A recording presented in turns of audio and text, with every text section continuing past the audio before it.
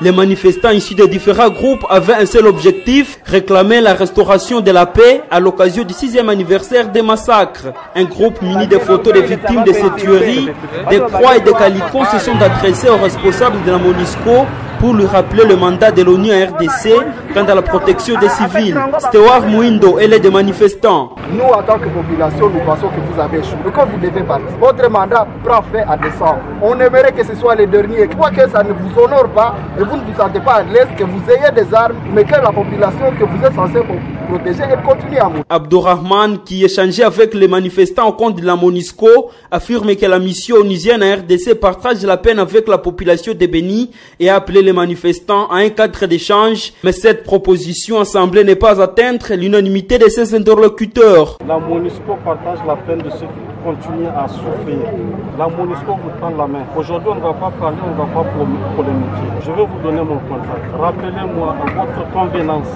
On va s'asseoir travailler ensemble voir comment on peut faire. Que vous avez joué, c'est que vous avez On va revenir chaque semaine si vous les rappelez. L'autre groupe de manifestants a chuté au stade Mungano d'Engadi où s'est tenue une mince de recueillement en mémoire des victimes des massacres.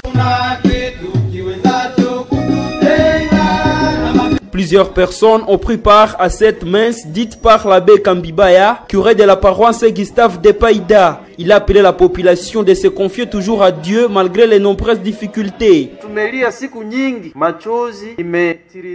Nous pleurons depuis longtemps. Nos larmes coulent et qui ont hanté plusieurs tonnes. Et le sang coule en beaucoup de tonnes dans cette zone. De jeunes enfants, des femmes enceintes déventrées, d'autres découpés à la hache, machette et les autres tués par balle. Il y a aussi des militaires. Personne n'attend nos cris de détresse, mais Dieu nous écoute.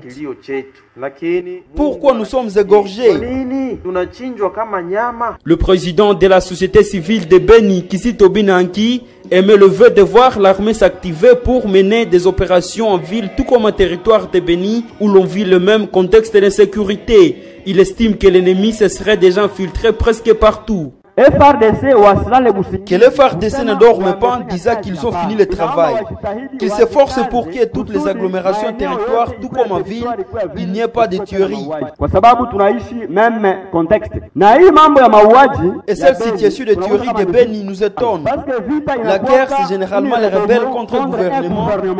pour conquérir le pouvoir, mais c'est le contraire chez nous.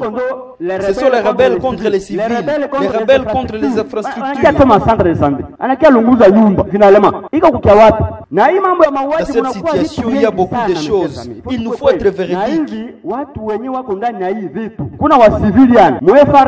Parmi les politiciens congolais mais aussi les pays voisins, les pays étrangers et aussi certains membres de la communauté internationale. Siku ya 40 ndio leo, donc kesho watakuwa demishe. Sanction ya Mungu itabafezeresha. Les autorités politico-administratives et militaires de Béni, ainsi que les députés, ont pris part à cette cérémonie où des mots de circonstances étaient prononcés.